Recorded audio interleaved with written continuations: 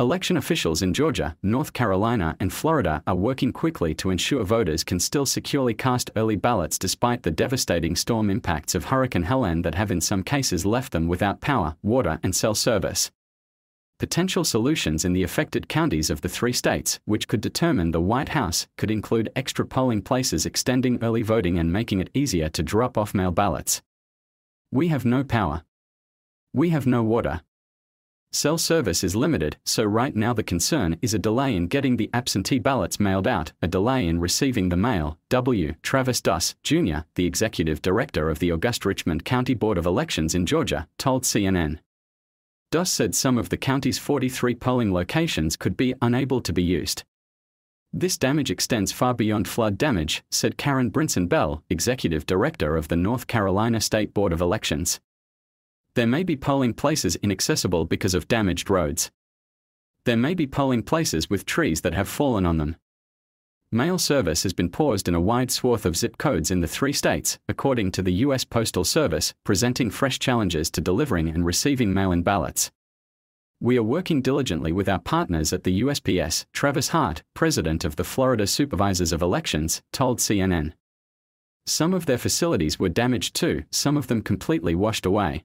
Elections officials are confident there won't be a problem getting the help they need. With the state legislature coming back into session, Bell and her team are assessing different potential legislative asks to make, but Bell said that they are not sure about whether it would be worth it to extend the receipt of absentee ballots by a few days, stating that she is more concerned about communities that are isolated and cannot send or receive mail. We've identified a number of different options that might be more beneficial, Bell said, including allowing voters to drop off ballots on election day instead of just being able to drop them off at early voting sites and election day polling places.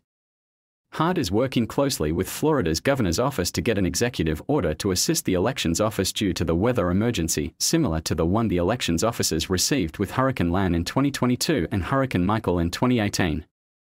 Hart said his team is asking to consolidate polling places and open up voting centers so that people aren't required to vote at their precinct, which could be damaged, closed, or inaccessible. He also plans to request extending early voting until Election Day, since typically in Florida early voting goes until the Sunday before. In North Carolina, Bell is considering working with state emergency management and the North Carolina National Guard to set up temporary polling places if needed. It was during Hurricane Dorian that we actually had voting from a tent that was stood up by the National Guard that made voting possible in Hyde County, Bell said. We will take the measures necessary to ensure that we can deliver voting. Bell added, We'll also be looking at whether we go before the board and asked for them to consider more mergers of polling places, potentially extending the use of our early voting facilities, since we know that those are usually larger, have more parking. Georgia Secretary of State Brad Raffensperger said in a statement that counties in his state required to move early voting locations will notify voters through Georgia's My Voter page website and through local radio, television, and social media.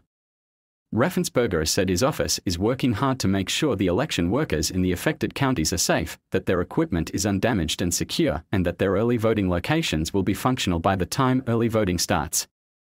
Subscribe and click the bell icon for the more videos.